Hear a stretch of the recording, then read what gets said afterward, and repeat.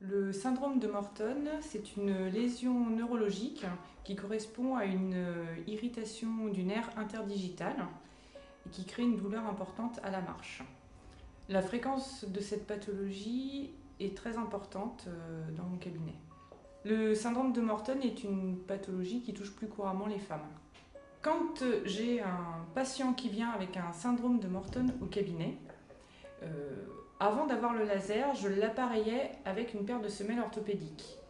Les douleurs euh, diminuaient dans la grande majorité des cas, mais la diminution de la douleur se fait de façon plutôt lente.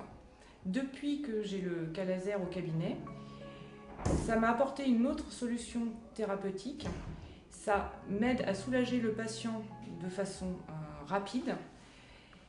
Je l'appareille avec des semelles orthopédiques dans le même temps et le laser plus les semelles orthopédiques me permettent d'avoir un résultat grâce au laser qui va être très rapide et grâce aux semelles orthopédiques un résultat qui va durer dans le temps.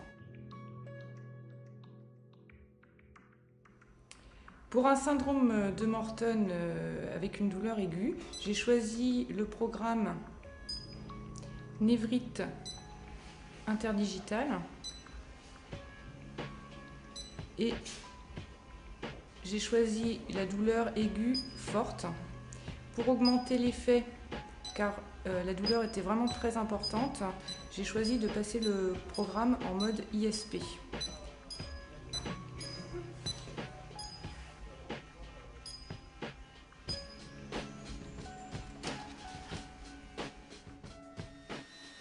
je passe le laser sur une zone large autour de la pathologie. Je ne me limite pas à l'endroit de la pathologie. Vous allez sentir une, douce chaleur. Le laser a une action euh, contre l'inflammation. Le laser va lutter contre l'inflammation. C'est un booster euh, cellulaire. Il va venir stimuler la, cellule à l'intérieur pour euh, lui faire produire plus d'énergie. Il va y avoir moins d'inflammation et donc moins de douleur. Je traite la partie supérieure du pied. Et je vais aussi traiter la partie inférieure. Pour cette pathologie et dans le cas présent pour ce patient, je préconise une séance d'attaque en ISP pour vraiment booster le traitement et diminuer la douleur de façon significative dès le départ, ce qui va permettre un soulagement quasi immédiat.